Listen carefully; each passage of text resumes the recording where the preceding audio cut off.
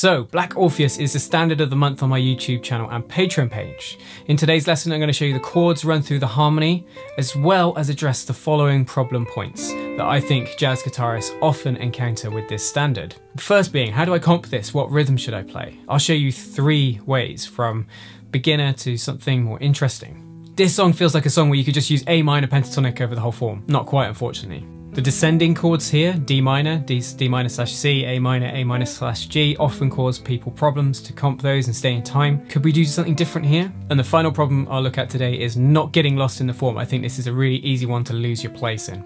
Now before we get onto the lesson, please check the description for a link to the resources from today, as well as a link to my Patreon page. So let's address the chords and harmony first. This song is in A-B form and it's 32 bars in length. There's a coda, which is often played as a coda at the end, but sometimes people like to use it as an introduction also. So we're in the key of A minor, the chords we get in the key of A minor when we harmonise an A minor scale are the following. Chord 1, A minor 7, chord 2, B minor 7 flat 5, chord 3, C major 7, chord 4, D minor 7, chord 5, E7. Now theoretically it should be E minor 7, but in practice, chord 5 is E dominant 7th, chord 6, F major 7, and finally chord 7, G7. Now those are our diatonic in key chords for this song. So put the chart up and bing bing bing, we have those chords everywhere. That leaves us with the following out of key chords. C sharp diminished, E minor 7 flat 5, and A7 flat 9. Now if I was looking at a chart for the first time, I'm on the hunt for musical structures that I'm familiar with chiefly being 251s, major and minor 251s. And this one, there's loads of these. There's plenty of examples of the minor 251, B minor 7 flat 5, E7 to A minor. We've got D minor GC, which is a 251 from the relative major, from C major. And we have another minor 25 here in the second half of the form. E minor 7 flat 5, A7, D minor is a minor 251 in D minor. Well, let me play through it and talk through the harmony. The chord shapes, the chart is all available. Check the description for that. Now the A section is 16 bars in length and one interesting thing that happens in this A section is it moves between a minor feel and a, a major feel and it does this by utilizing the relative major. So every minor key has a relative major key, every major key has a relative minor. So the relatives of each other in minor and major, in this case is A minor and C major. And really what we're doing is starting out on chord 1 a minor, then we have the 2, B minor 7 flat 5 to E7. do that twice. Then on the second line, we're going to move to the major. 1, and then a 2-5-1 in C major. And then this C sharp diminished, you can hear is taking us somewhere. Now, a C sharp diminished is really, really closely related to a dominant chord to an A7 flat 9. This contains C sharp, E, G and B flat. A7 flat 9 contains those notes plus an A. Now what does C sharp diminished in A7 flat 9 or A7 like to do? It likes to go to D, D major, D minor. And D minor is one of the chords in this key um, and in C major and it's going to lead us perfectly there. And then what we're setting up here is we've really moved, staying with that, well going to the major feel here, look, D minor, 2, 5, G7 to C6 and 9 I'm using here so we don't clash with the melody. And then to chord 4. So that's all like a, a, line there where we're just moving to temporarily to C major. That was chord 2, 5, 1 and 4 of C major. So just, you know, with we started out in A minor and then had a change in feel if you listen. Minor.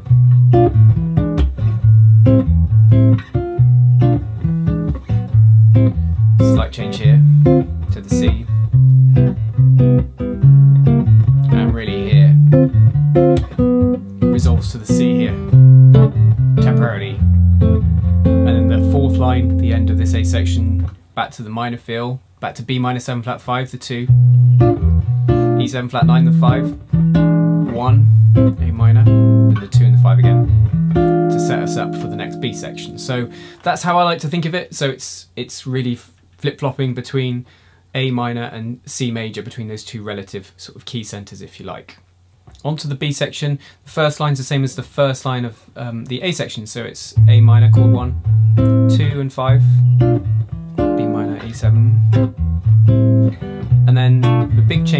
So this is really, you're going to another key very temporarily here. We're going E minor 7 flat 5, and I like to play A7 with a sharp 5 and flat 9 to a D minor. Now, in the same way, BEA is a minor 251 in the key of A minor. EAD, E minor 7 flat 5, A7, D minor, is a minor 251 from the key of D minor. So this whole line really is a temporary move to D minor if you like, and that's important if you want to solo over this bit because it's moving away from the A minor feel. Uh, so 251 in D minor here. Then we get this rundown. D minor, C in the bass, that's the seventh in the bass. And then we get the two, five of A minor, A minor, A minor with the seventh in the bass. And then we move to F major seven, which in A minor would be chord six. And then we go to the two, to the five to resolve to the one in the penultimate bar. And then the two, five at the end. So we can go again. So I think the interesting points in this song. In the A section, it's that move to C major. Uh, in the B section, it's that move to D minor. But those are those are the the harmony and said the chord shapes, the charts available from my website. Just check the description. Let me play it through for you. One, two, three, four.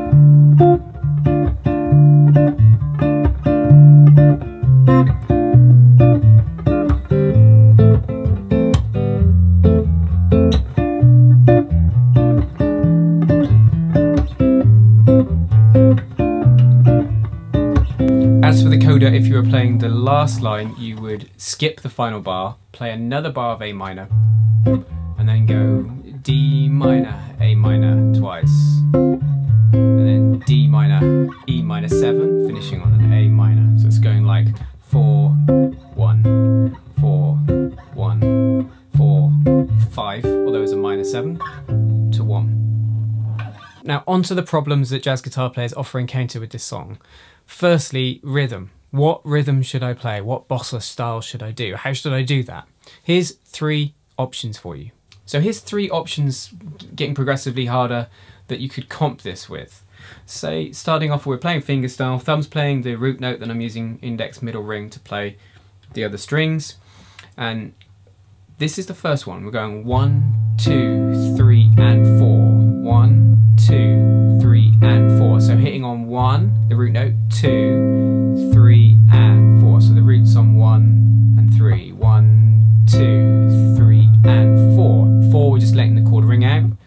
whole example.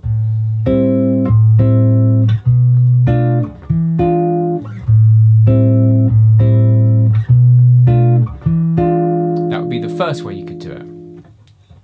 Option two does something that's really common in this kind of bossa style, which is to anticipate the next chord half a beat early. It gives a feeling of moving forward nicely. So what we're going to do is on the and of four, we're going to play the chord from the next bar. Listen, and we're going to cut off the, the last hit of the chord before we do that as well, like this. One, two, three, and four, and one, two, three, and four, and. So on the and of four, I'm hitting the B minor seven flat five. So it's coming in half a beat early. One, two, three, and four, and one, two, three,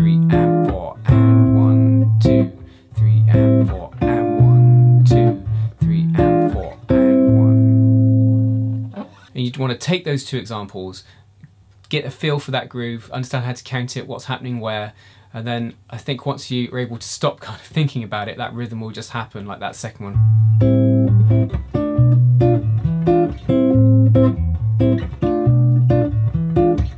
It's funky that one. My third option, a slightly different and more advanced one, is inspired by the rhythm of the clave, and this is uh, actually done with a. I like to do this with a bit of palm muting, and we've got a few additional chords in here, but just have a listen to this.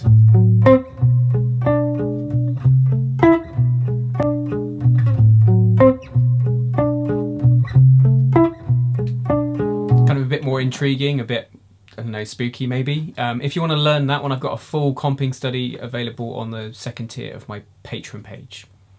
On to the second problem or issue I think people have when playing the song. When it comes to soloing, I think a lot of people gravitate towards the minor pentatonic, and whilst it works over quite a few of the chords, it's not really rich, rich enough harmonically to, to do yourself any justice over those changes. It could trip you up on the out of key chords, and the chord E7 is problematic. A minor pentatonic contains the following notes A, C, D, E, and G. And E7, the five chord in this key, is so important, it, we haven't got the major third of that chord in the A minor pentatonic. And E7 is E, G sharp, B, and D. So a better scale to use if you want to try and have a scale which fits most of the song would be the A harmonic minor, which would be A, B, C, D, E, F, G sharp, a. That contains that G sharp, which is going to be useful for E7.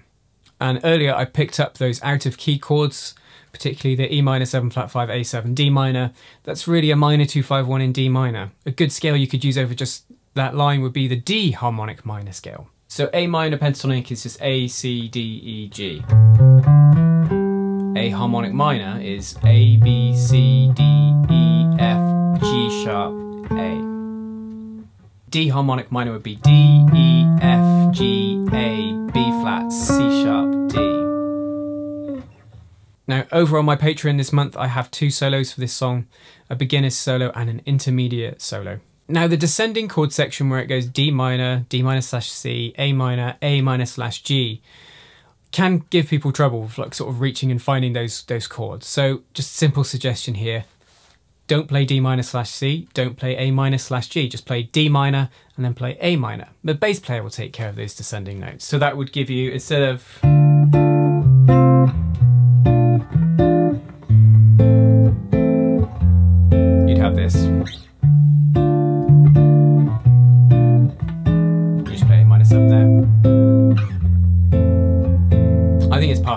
if you need to do that. So the problem point of getting lost in this song this song, because it's A B form and because the B section isn't radically different to the A, I think it's easy to get lost in. And there's lots of A minor, B, E, loads of that happening at the start and the end of the form, between the end of the A section and start of the B section. And I think it would be very common for someone to move too early to somewhere or maybe too late. So how do you go about making sure you don't do that? Obviously you could glue your eyes to the chart, but that's not going to be great in the long run. The best thing you can do in my experience in this problem is to link the melody to the chords. So if you were playing with someone, even if they're soloing, you might have to turn yourself off to them and just imagine or hum the melody in your in your mind if you like as you practice it as you play those chords obviously if you're on your own you could just sing or hum the melody as you play but think of the melody as it's linked to the chords and then you shouldn't get lost you shouldn't go to anything too early there's da da da da da da da and so on. Just you know, that's some stellar scene there. Um, not uh, just you can hum, sing whatever whatever works, but use that to try and keep track of where the melody is. You know, when when you're playing the chords. So thank you for watching this far, it is much appreciated. If you'd like to support the channel, then there's the option to leave a donation when you download the resources from today's lesson, or if you'd like to learn more about this song and other jazz standards, then please do check my Patreon page.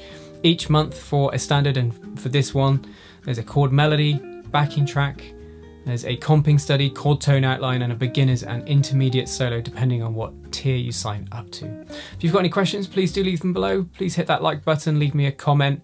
As I said, I'll do my best to answer any questions. But until next time, you take care.